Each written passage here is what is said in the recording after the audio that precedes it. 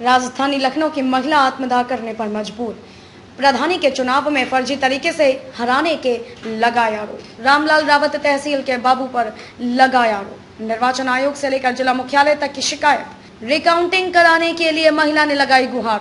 जिला पंचायत चुनाव में बबली नाम की महिला प्रत्याशी ने अपने साथ हुई नाइंसाफी का आरोप लगाया है। तहसील के बाबू रामलाल रावत पर महिला ने मतपेटियों के साथ छेड़छाड़ करने का आरोप लगाया है। बता दें कि महिला प्रत्याशी ने निर्वाचन आयोग से लेकर जिला मुख्यालय तक शिकायत की है। इसके साथ ही महिला का कहना है कि अगर दोबारा से काउंटिंग नहीं कराई गई तो वो आत्मदाह कर लेगी।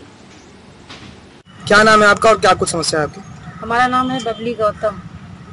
तहसील बक्सी तालाब हमारा है ग्राम सभा सुल्तानपुर से मैं प्रधान की प्रत्याशी हूँ।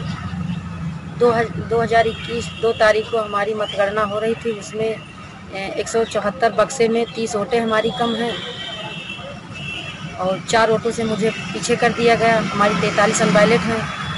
जो कृषि विभाग का रामलाल बाबू है, वो हमारे साथ इंटरफेयर किया। हम आरओ को अप्लीकेशन दिए एसडीएम को दिए, जिला निर्वाचन अधिकारी को दिए, जिला चुनाव आयोग को दिए। किसी तरीके की हमारी प्रार्थना पत्र पर कार्रवाई नहीं की गई। हम इधर उधर भटकते रहे हमारी कोई सुनवाई नहीं की गई। क्या अब अब क्या आपने सोचा है कि अगर आपकी सुनवाई नहीं होती तो क्या कुछ करेंगे? अगर हमारी ग्राम सभा सुल्तानपुर की पुनः मतगणना नहीं की गई तो हम आत्महत्या कर लेंगे। क्योंकि हमारी सीट जीती हुई है हमको ज़बरदस्ती हराया गया। न्यूज़ इंडिया को सब्सक्राइब करें एंड बेल आइकन को प्रेस करें लेटेस्ट न्यूज़ अपडेट के लिए।